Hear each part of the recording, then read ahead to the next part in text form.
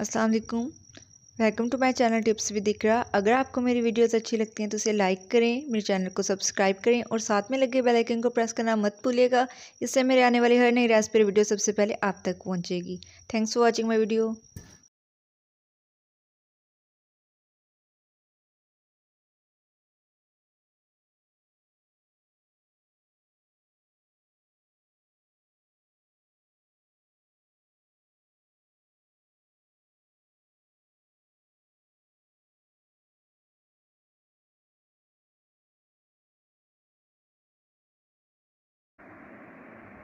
बिसमीम अस्सलाम फ्रेंड्स, कैसे हैं आप? मैं हूँ इकरा, आप देख रहे हैं tips with Iqra YouTube channel. तो आज मैं अपने चैनल पे आपके लिए बहुत ही ज़बरदस्त क्रिस्पी, स्पाइसी पकोड़ा लेके आई हूँ। प्याजी पकोड़ा मैं आज आपको बनाना सिखाने जा रही हूँ, जो कि बहुत ही डिलीशियस बनता है और ईजी भी है। और बारिशों के सीज़न में तो ये बहुत मज़े का लगता है और स्पेशली तब जब आपके पास टाइम कम हो, तब तो ये बेस्ट ऑप्शन है कि आप इसे ज़रूर ट्राई कीजिए। तो बढ़ते हैं रेसिपी की तरफ़। यहाँ पर मैंने लिए हैं प्याज, तीन लार्ज साइज़ के प्याज थे, जो मैंने यूँ लंबाई में कट करा है और उसके बाद मैंने उसको अच्छे से वॉश कर दिया था। और यहाँ पे है मेरे पास chaat masala one tablespoon में चाट मसाला इसके अंदर ऐड करूँगी और ग्रीन चिलीज़ हैं मेरे पास, छः से सात जिनको मैंने बारीक बारीक कट कर लिया हुआ है। और कसूरी मेथी लेंगे वन टेबल स्पून और ये क्रश्ड धनिया पाउडर है, ये भी वन टेबल स्पून इसके अंदर जाएगा क्रश्ड है पाउडर नहीं है ये। और पालक लेंगे, एक कप बारीक कटी हुई। इसको अच्छे से वॉश कर लिया था और बेसन हम इसके अंदर हसब ज़रूरत ऐड करेंगे।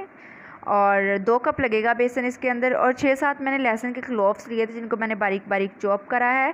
और ये है मेरे पास lemon juice one tablespoon one teaspoon लाल मिर्च पाउडर वन टीस्पून हल्दी वन टीस्पून कुटी लाल मिर्च और नमक लेंगे हम हसबे ज़ायका। आप अपनी मर्ज़ी के अकॉर्डिंग स्पाइसेस इसके अंदर ऐड कर सकते हैं। साबुत ज़ीरा लिया है मैंने वन टेबल स्पून और वन टेबल स्पून मैं साबुत धनिया यूज़ कर रही हूँ। साबुत ज़ीरा और साबुत धनिया बहुत अच्छा लगता है पकौड़ों के अंदर तो मैं ऐसे ही ऐड करती हूँ। तो सबसे पहले एक बाउल के अंदर हम, हमने डाल दिया है प्याज। इसके साथ मैं ऐड कर दूँगी ग्रीन चिलीज़ इसके साथ अब हम ऐड कर देंगे लहसुन के क्लोव्स छः सात लिए थे, मैंने बारीक बारीक उनको चॉप कर लिया था। इसके साथ मैं इसके अंदर ऐड कर दूँगी पालक। पालक इसके अंदर बहुत अच्छी लगती है और इससे ये क्रिस्पी स्पाइसी बनते हैं। साथ मैंने ऐड कर दिया है फ्रेश कोरिएंडर। साबुत ज़ीरा ऐड कर देंगे। कसूरी मेथी ऐड कर दी है। और अब इसके अंदर जाएगा चाट मसाला।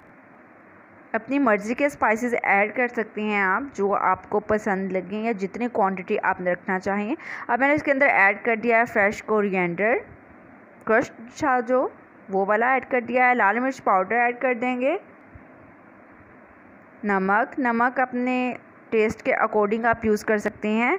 और अब मैंने इसके अंदर डाल दी है हल्दी। सिंपल से मसाले हैं जो हमारे घर में अवेलेबल होते हैं, उन्हीं से ये पकौड़ा बन जाता है। अब मैं दो कप इसके अंदर बेसन ऐड कर रही हूँ, ठीक है? दो कप आपने बेसन ऐड करना है, ज़्यादा मत ऐड कर दीजिएगा, वरना आपके लच्छे नहीं बनेंगे। और अब इसके अंदर ऐड कर दूँगी मैं कुटी लाल मिर्च। साबुत धनिया, सूखा धनिया जो था, वो साबुत बहुत अच्छा लगता है। इसके अंदर अब ऐड कर देंगे थ्री टेबल स्पून पानी और मैंने इसको अच्छे से मिला के तो इसका ये एक टेक्सचर रेडी कर लिया है। ज़्यादा बेसन ऐड करने से क्या होगा कि हमारे लच्छे नहीं बनेंगे तो बेसन आपने हिसाब से इसमें ऐड करना है।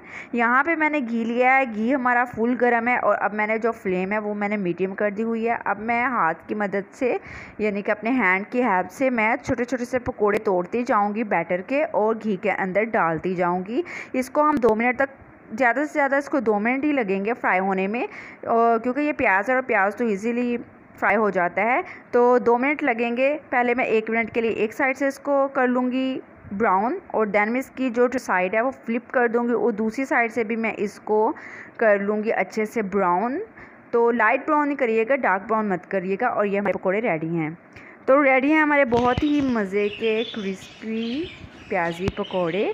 इस रेसिपी को घर में ज़रूर ट्राई कीजिएगा। बहुत ही मज़े के बनते हैं, बहुत ही यूनिक सा आइडिया है। और अगर आपको मेरी आज की रेसिपी पसंद आई हो तो इसे लाइक करें, अपने फ्रेंड्स के साथ शेयर करें, मेरे चैनल को सब्सक्राइब करें। और साथ में लगे बेल आइकन को प्रेस करना मत भूलिएगा। इससे मेरे आने वाली हर नई रेसिपी वीडियो सबसे पहले आप तक पहुँचेगी।